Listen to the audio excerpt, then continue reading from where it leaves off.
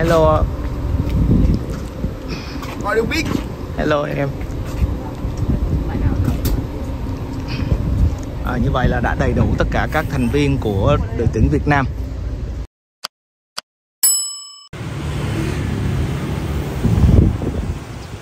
Hello, Ngoài Đường Biết xin gửi lời chào đến tất cả quý khán giả. Chiều ngày hôm nay thì mình đang có mặt tại thành phố Bà Rịa. Một chút nữa thì mình sẽ cùng với các anh em đồng nghiệp ra sân Bà Rịa Vũng Tàu để theo dõi buổi tập của đội tuyển Việt Nam. Ngày hôm nay thì huấn luyện viên Park Hang-seo vẫn chưa trở về để hội quân cùng với các học trò. Tuy nhiên là buổi tập chiều ngày hôm nay sẽ chào đón sự trở lại của trung vệ Bùi Tiến Dũng. Hy vọng rằng là chúng ta sẽ có những hình ảnh hay về buổi tập của các học trò, huấn luyện viên Park Hang-seo.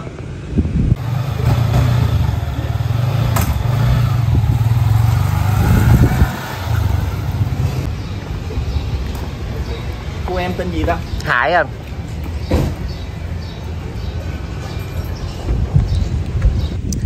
Hello cả nhà, cuối cùng thì mình cũng đang có mặt tại sân Bà Rịa Vũng Tàu và đây là học viện bóng đá Juventus à, nơi mà rất là nhiều các cầu thủ đang được đào tạo và hy vọng rằng sẽ là những mầm non, những tài năng tương lai cho bóng đá Việt Nam chúng ta. Một chút nữa thì các thành viên của đội tuyển Việt Nam cũng sẽ đến đây để tập luyện. Mấy ngày hôm nay thì có lẽ là các anh chị em khán giả cũng đã xem rất là nhiều buổi tập của đội tuyển Việt Nam ở Bà Rịa Vũng Tàu do ekip à, những người bạn những người em đồng nghiệp của mình đó là Tết Trần TV thì cũng đã thực hiện rất là nhiều. Hôm nay thì mình mới xuống để trực tiếp tác nghiệp được và hy vọng rằng là sẽ có được những cái hình ảnh hay và thú vị để mang đến cho khán giả. Đây là chiếc xe chở đội Bà Rịa Vũng Tàu. Rất là nhiều anh em đồng nghiệp đang chờ đội tuyển đến.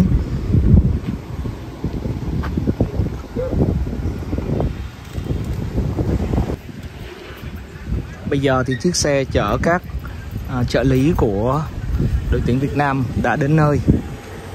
Như thường lệ thì à, các trợ lý sẽ đến để chuẩn bị cho phần tập luyện của các cầu thủ. Sau đó khoảng 20 phút thì các thành viên của đội tuyển Việt Nam mới tới nơi.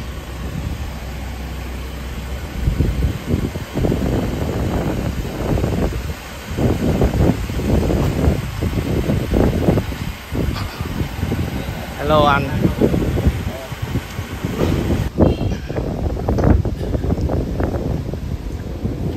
Như vậy là chiếc xe chở các thành viên của đội tuyển Việt Nam cũng đã đến nơi Ở phía ngoài hàng rào thì không có người hâm mộ nào nữa. Còn nhớ ngày đầu tiên khi đội tuyển đến thì có rất là đông người hâm mộ đã đến và chờ ở khu vực hàng rào. Tuy nhiên là đã không được vào để xin chữ ký cũng như là theo dõi buổi tập của các cầu thủ. Và chính vì vậy mà sau đó thì người hâm mộ đã à, hạn chế à, đến sân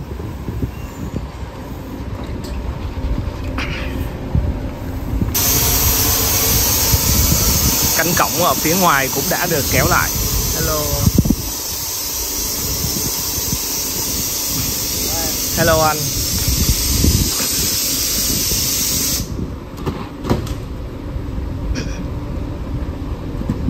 Hello. Dạ. Em mới xuống này. Dạ. Các thành viên của đội tuyển Việt Nam. Hello.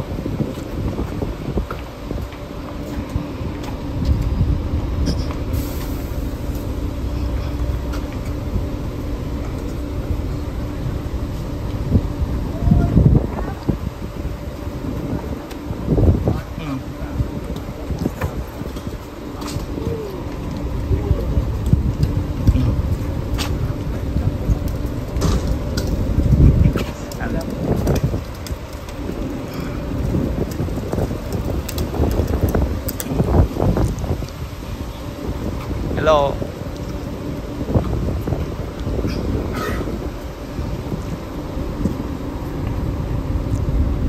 Hello.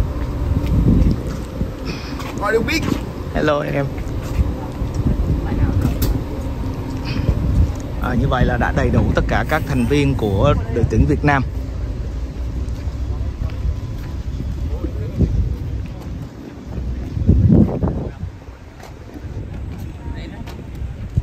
Biết là ngày hôm nay thì ban luyện của đội tuyển Việt Nam sẽ chỉ định ai là người trả lời phỏng vấn.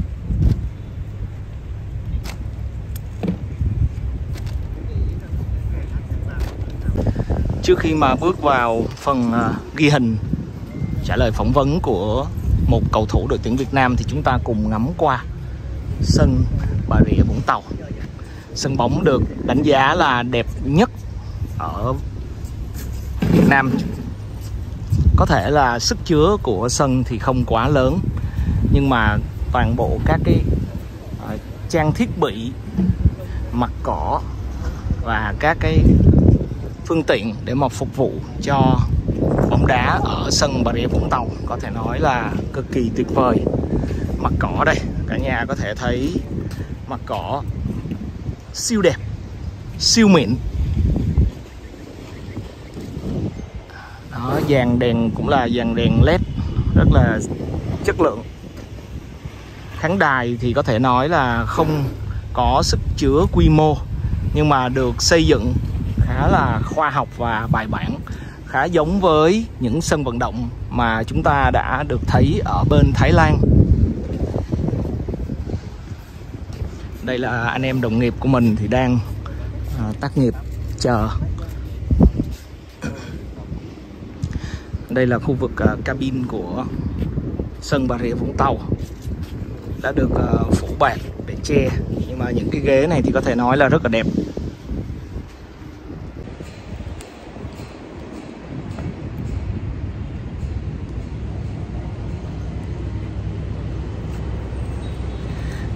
Có thể nói là sân Bà Rịa Vũng Tàu rất là đẹp.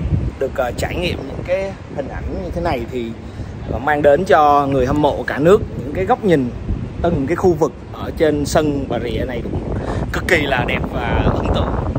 Ờ, không quá lớn nhưng mà có thể đáp ứng được cái công năng, cũng như là có thể chào đón được khoảng từ 5.000 cho đến 7.000 người hâm mộ đến để mà theo dõi các cái trận đấu của đội chủ nhà Bà Rịa Vũng Tàu ở giải hạng nhất quốc gia, hay là khi mà đội tuyển Việt Nam ờ, đến đây tập luyện. Ờ, trong tương lai thì mình nghĩ rằng là sẽ còn nhiều lần nữa đội tuyển đến đây và lúc đó thì người hâm mộ bóng đá Bà Rịa Vũng Tàu cũng có thể đến để mà thưởng thức các cái buổi tập của à, đội tuyển trong à, thời gian tới.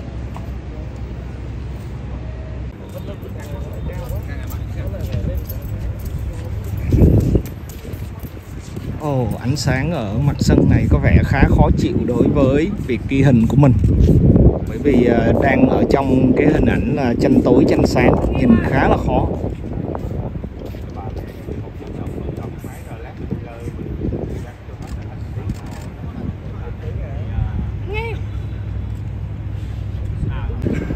Vậy là theo chia sẻ của ban luyện đội tuyển Việt Nam thì người trả lời phỏng vấn ngày hôm nay sẽ là thủ môn Đặng Văn Lâm. Đây rồi, Văn Lâm đây rồi.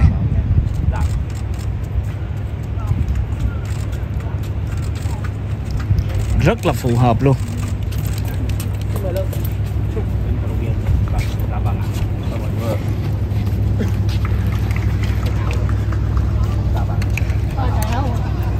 anh cày áo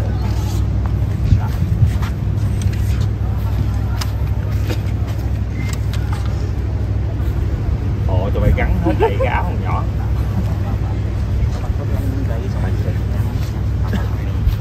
quay đi quay à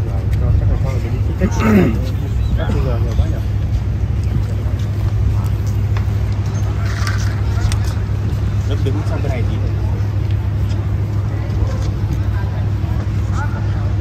Nếu xong á,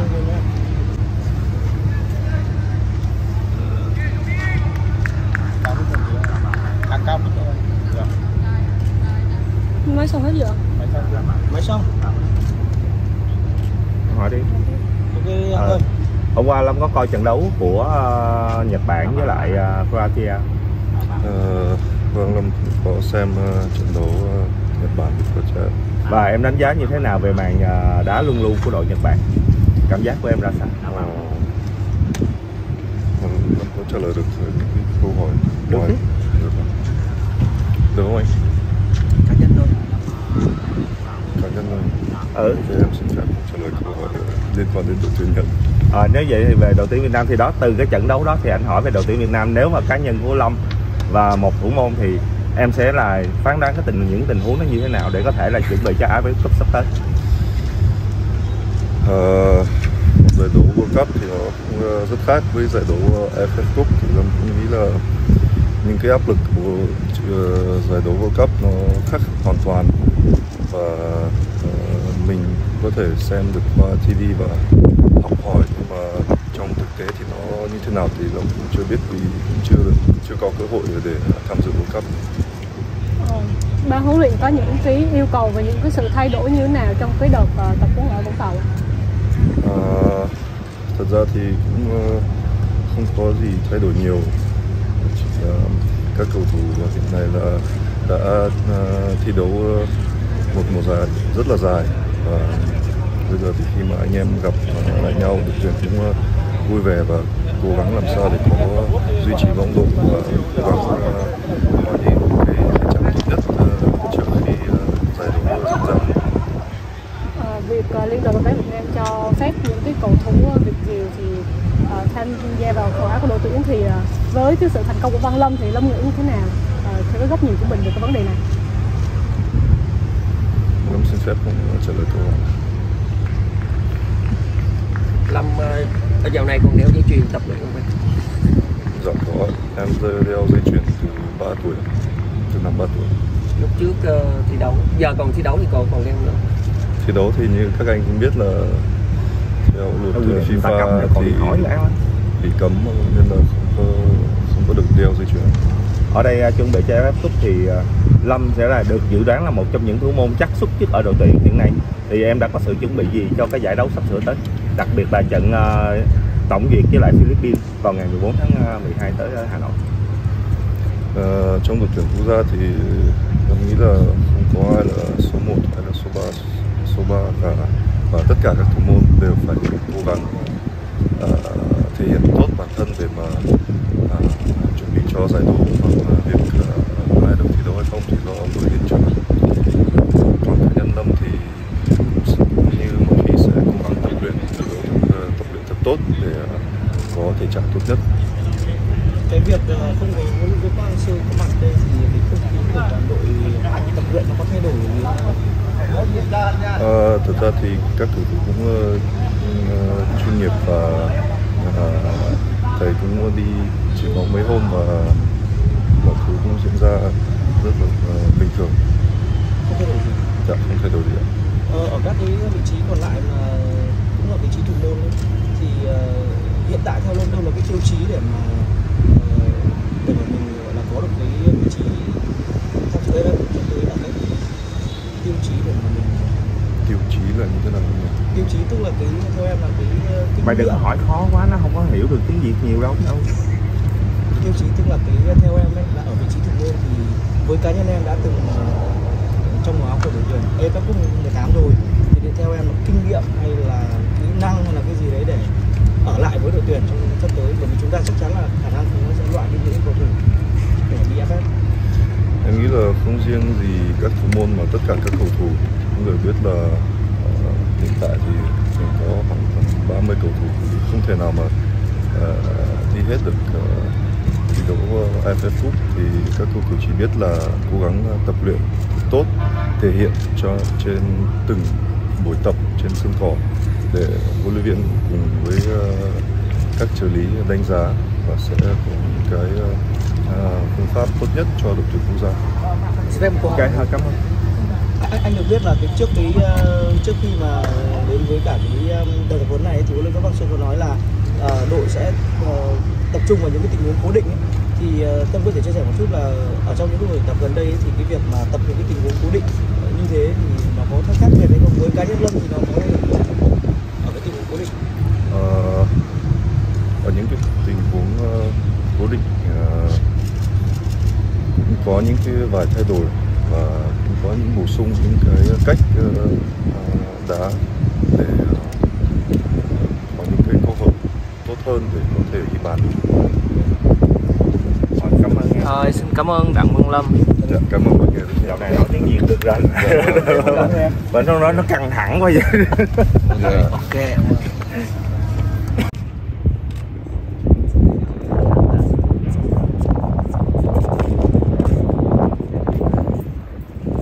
chúng ta là những hình ảnh dặn dò riêng của huấn luyện viên Lee Young Jin dành cho tiền đạo Nguyễn Văn Toàn. Những hình ảnh thị phạm cho cậu học trò. Ông Lee Young Jin cũng đã từng nói rất nhiều về việc Văn Toàn nên ra nước ngoài để thi đấu. Môi trường bóng đá Hàn Quốc hay Nhật Bản rất phù hợp với Văn Toàn. Theo lý giải của ông Lee Young Jin và huấn luyện viên Park Hang-seo, thì cái vai trò, cái vị trí của Văn Toàn ở khu vực chạy cánh, cái sở trường và tốc độ là những cái điều mà Văn Toàn hoàn toàn có thể thể hiện tốt khi sang thi đấu ở Nhật Bản và Hàn Quốc. Tuy nhiên là như các bạn cũng đã biết là ở thời điểm hiện tại thì sau khi mà Công Phượng được xác định là sẽ sang Nhật Bản để thi đấu ở Mito Hollyhock vào mùa giải năm 2023 thì Văn Toàn chắc chắn sẽ phải ở lại để gánh vác hàng công của câu lạc bộ Hoàng Anh Gia Lai. Lúc nãy thì chúng ta vừa mới nghe xong phần trả lời phỏng vấn của thủ môn Đặng Văn Lâm và bây giờ thì à, chúng ta sẽ tiếp tục à, đi ra để xem phần khởi động của các cầu thủ đội tuyển Việt Nam. À, theo quy định của ban huấn luyện đội tuyển Việt Nam thì báo chí chỉ được tác nghiệp 20 phút mà thôi. Trong 20 phút thì hy vọng rằng là sẽ có thêm nhiều hình ảnh để mang đến cho quý khán giả.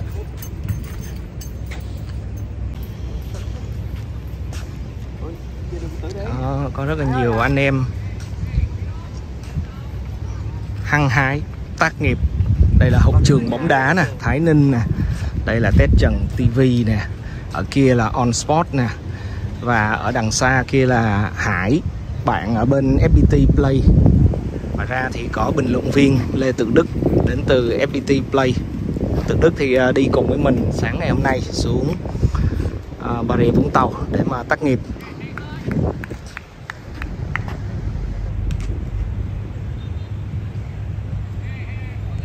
Giờ thì mình mới nhìn thấy cái sự rất là khó chịu của cái à, ánh chiều, ánh nắng buổi chiều. Nó khiến cho việc cân bằng sáng đang khá là khó khăn.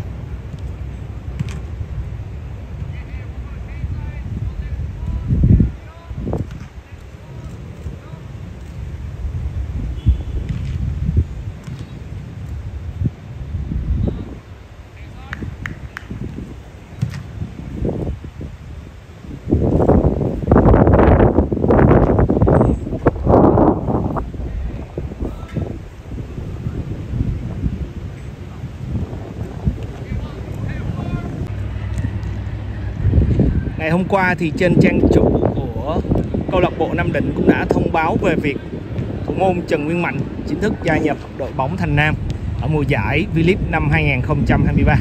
Sự xuất hiện của Trần Nguyên Mạnh và trước đó là hàng loạt những gương mặt nổi bật ở hàng phòng ngự của đội tuyển Việt Nam có thể nói là mang đến rất là nhiều tín hội hiệu vui cho những ai yêu mến đội bóng chủ sân Thiên Trường. Nam Định đã không còn bị xem là ứng viên cho cuộc đua chủ hạng ở mùa giải tới nữa rồi. Không những vậy thì bây giờ họ sẽ là một trong những ứng viên hàng đầu cho cuộc đua vô địch V-League. Mọi chuyện thay đổi một cách chóng mặt. Và bây giờ thì Nam Định đang trở thành một điểm đến đầy hứa hẹn với rất nhiều những ngôi sao bóng đá. Theo những thông tin được uh, chia sẻ trên mạng xã hội những ngày gần đây thủ môn À, Nguyên Mạnh. Hồng Duy, Văn Thanh, Hữu Tuấn là những cái tên được lựa chọn ở hàng phòng ngự trọng đại, cũng đã góp mặt. Hoàng Văn Khánh của sông Lam Nghệ An cũng đã cập bến và rất có thể là một tiền đạo đến từ Na Uy. Đó là Alexander Đặng cũng sẽ góp mặt ở câu lạc bộ. Nam Định ở mùa giải tiếp theo.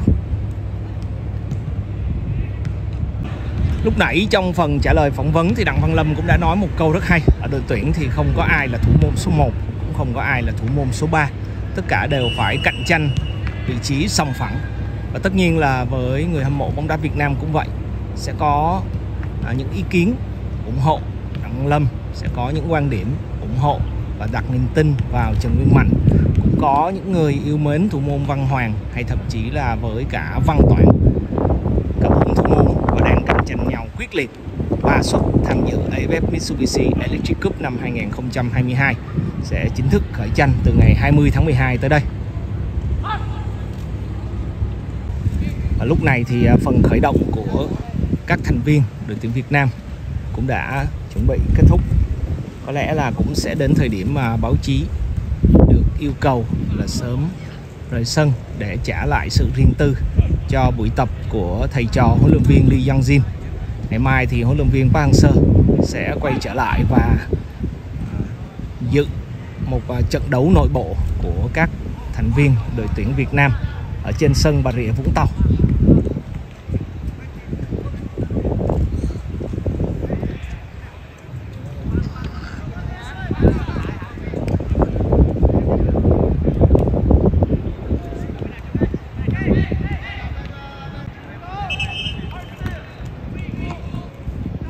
ở khu vực đằng xa kia là Tuấn Anh, Văn Toàn, Hồ Tấn Tài.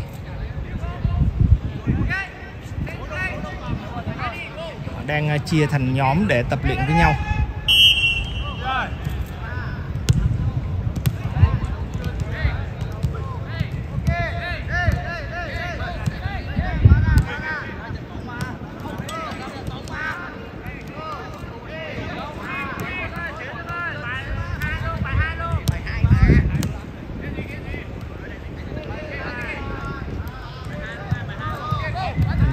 Thanh Nhân.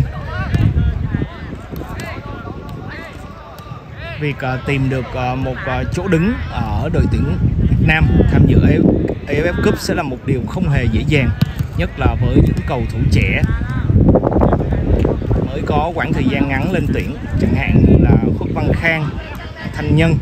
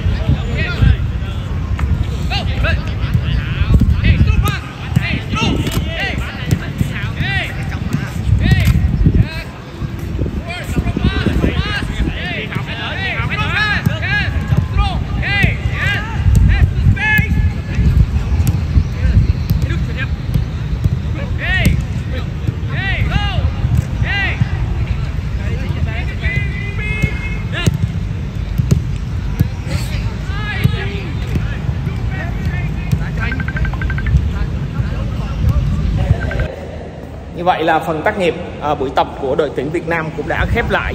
À, anh em báo chí được à, yêu cầu rời khỏi à, sân, trả lại không gian riêng tư cho à, thầy trò huấn luyện viên Lee Yang Jin. À, rất là vui khi à, nhận được à, sự quan tâm và yêu mến của à, khán giả ngoài đường pit và nếu như yêu thích à, clip ngày hôm nay thì có thể cho mình xin một like, share và nếu như chưa đăng ký thì có thể cho mình xin một đăng ký. Ngoài đường pit rất là cảm ơn cả nhà. Và ngày mai thì mình sẽ tiếp tục à, đi xuống dưới thành phố Vũng Tàu à, có một số những cái công việc liên quan đến à, các thành viên của đội tuyển Việt Nam cũng như là liên quan đến à, một người em của mình đó là tiền vệ Trần Minh Vương. Hy vọng rằng là sẽ mang đến cho khán giả thêm những cái thước phim hay. Bây giờ thì let's go. Cùng cool du ngoạn thiên nhiên săn quà khám phá. Sưu tập thẻ cool đổi quà cực cool Săn ngay thẻ khám phá có trong mỗi lốc sữa cool 110 hoặc 180ml bất kỳ. Sưu tập 24 thẻ khám phá, đổi ngay một gối siêu cool Thu thập được 36 thẻ khám phá, đổi được một áo choàng biến hình cool May mắn săn được thẻ đặc biệt, nhận ngay một liều cool siêu cấp. Nhánh tay sưu tập thẻ du ngoạn trong mỗi thùng sữa cool túi 110ml bất kỳ. Tích lũy được 4 thẻ du ngoạn, đổi ngay một túi rút siêu cool nhiều ngăn tiện lợi. Tích lũy 8 thẻ du ngoạn, đổi được một áo mưa siêu cool Săn được thẻ đặc biệt, sở hữu ngay vali du lịch 3D cực chất. Cùng cool thỏa thích khám phá săn quà tươi vui Săn ngay thẻ cool tươi vui trong mỗi lốc sữa cool tươi vui hoặc cool dạng chai 90ml Thu thập được 6 thẻ cool tươi vui đổi liền tay một sách tô màu má thuật Thu thập được 12 thẻ cool tươi vui đổi ngay một bộ bút tô màu siêu cool Tích lũy được 24 thẻ cool tươi vui, đổi được một bộ chén đĩa siêu cool. May mắn sẽ được thẻ đặc biệt, sở hữu ngay một xe scooter siêu chất. Chương trình áp dụng từ 1 tháng 10 năm 2022 đến 31 tháng 3 năm 2023. Săn thẻ cool vậy thôi các bạn ơi!